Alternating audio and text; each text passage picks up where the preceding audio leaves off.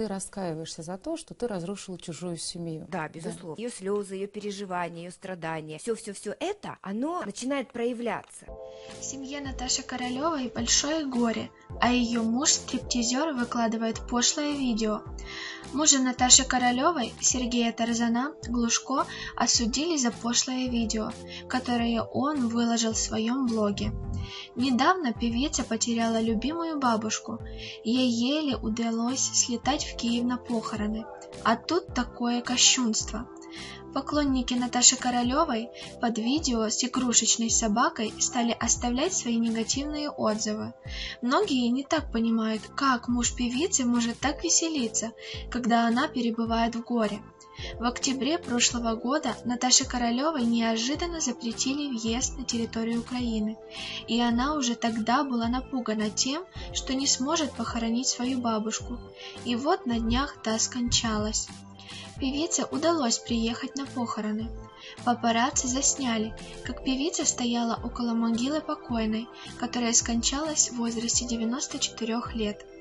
Наташа Королева не смогла сдержать слез и разрыдалась, прощаясь с любимой бабушкой. Рядом с ней была ее мама, Людмила Порывай, прилетевшая из Майами, где живет последние 15 лет, а мужа рядом не было.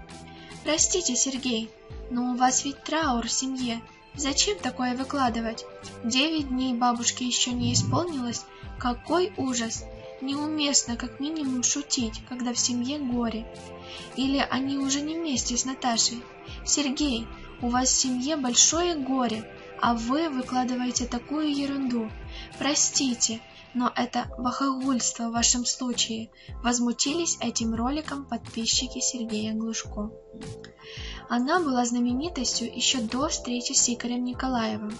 Наташа Королева родилась 31 мая 1973 года в Киеве. Ее родители Владимир и Людмила Порывай – музыканты. Чтобы обеспечить Наташе и ее сестре достойную жизнь, родители не жалели себя и своих сил. Папа работал на двух работах, мама на трех вспоминает певица. Помимо того, что она преподавала в институте и вела хоровую капеллу, ей пришлось устроиться в универмаг и вести ансамбль. Детство будущей звезды было очень непростым. Время было тяжелое, постоянный дефицит, и купить что-нибудь было очень сложно.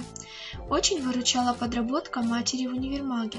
Людмила не столько зарабатывала деньги, сколько завела нужные связи и получила возможность одевать, обувать двух своих дочерей.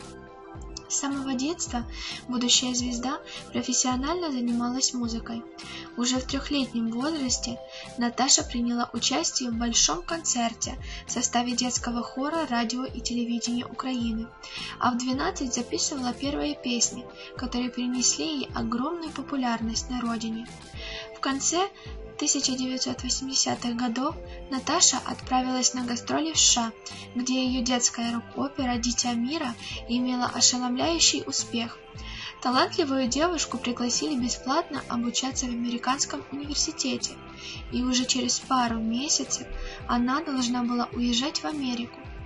Однако поездке в Штаты помешал счастливый случай. Вдруг в Киев позвонила женщина, с которой я тогда познакомилась в Евпатории на детском фестивале. Сказала, что Игорь Николаев сейчас прислушивает девочек и предложила попробоваться. Я уговорила маму поехать в Москву. Это решение оказалось судьбоносным. Желтые тюльпаны появились благодаря бутербродам. После первого прослушивания Наташа не понравилась Игорю Николаеву. У него были другие претендентки, гораздо более экстравагантные, чем я, 16-летняя и довольно скромная. В общем, мы получили отказ, рассказала Королева, но тут в дело включилась мама с ее украинским хлебосольством. У Николаева в тот день был концерт в Лужниках, и Наташа с мамой пошли на него. К вечеру Игорь изванивал от голода, и Людмила на скорую руку приготовила ему бутерброда. Откушав их, Николаев подобрел и сказал, «Ну ладно, может, первая проба действительно не показательная. Я еду сейчас на гастроли в Таллин, и если хочешь, мама, отпускай дочку со мной, там посмотрим». Мама не возражала, и Наташа успешно прошла прослушивание со второй попытки. Первая же песня Игоря Николаева «Желтые тюльпаны», написанная для Королевой, стала хитом номер один – Композиция не только принесла молодой украинской певице всесоюзную славу, но и вывела ее финалистки престижного конкурса «Песня года». А вскоре успешный творческий союз Николаева и Королевой перерос в самый обсуждаемый брак тех лет. По словам певицы, настоящего творчества не может быть без любви, иначе все будет выглядеть искусственно. Когда же есть любовь, получается по правде. Так вышло и у Королевой с Николаевым. Поскольку Игорь человек творческий, эмоциональный, ничего странного не было в том, что он ко мне про интерес, вспоминает артистка. Но я была очень строгих правил и полагала, что все должно быть только после свадьбы. Когда Наташа поняла, что ухаживания композитором зашли слишком далеко, она сказала ему «или официально, или никак». Николаев призадумался, но ненадолго Королева не упустила и этот шанс.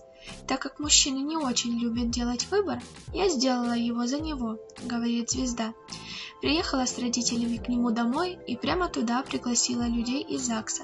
Они сказали, что им впервые довелось при к двум нормальным, здоровым молодым людям.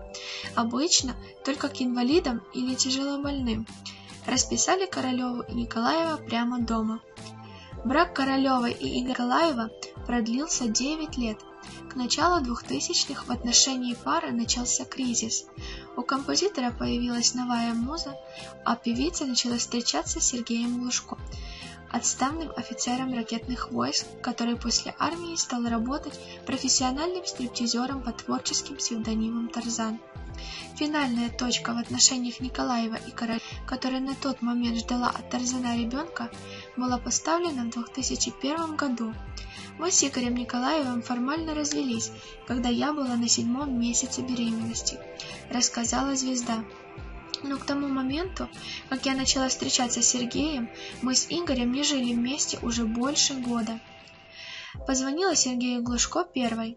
Знакомство Наташи Королевой и Сергея Глушко произошло в конце 1998 года в одном из ночных клубов Москвы. К Наташе приехали киевские подружки и пригласили пойти с ними на мужское шоу «Стриптиз». Я отказывалась. Ну какое здесь может быть шоу?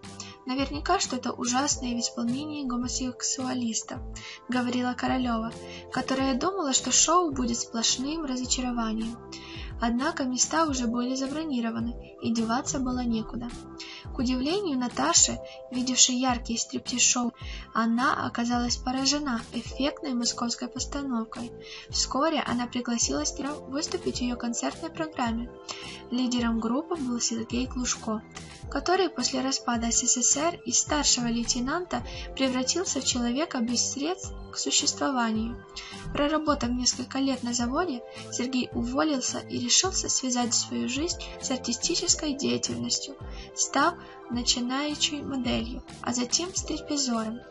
Долгое время между молодыми людьми была простая симпатия. Однако спустя несколько лет дружеские отношения пары переросли в любовные. Инициатором снова выступила Королева – Именно она сделала первый шаг и позвонила Сергею. В феврале 2002 года у Наташи Королевой и Тарзана родился сын, которого счастливые родители назвали Архипом, а через полтора года Наталья и Сергей в обстановке строгой секретности сыграли свадьбу. Певица призналась, что став законной женой Сергея, она отчетливо и сразу почувствовала изменения, произошедших в ее отношениях с мужем. Наконец-то мы не просто какие-то сожители, какое все-таки слое слово, а муж и жена, призналась Наташа после свадьбы. Какой-то банальный штамп в паспорте оказался психологически очень важным моментом и для Сергея.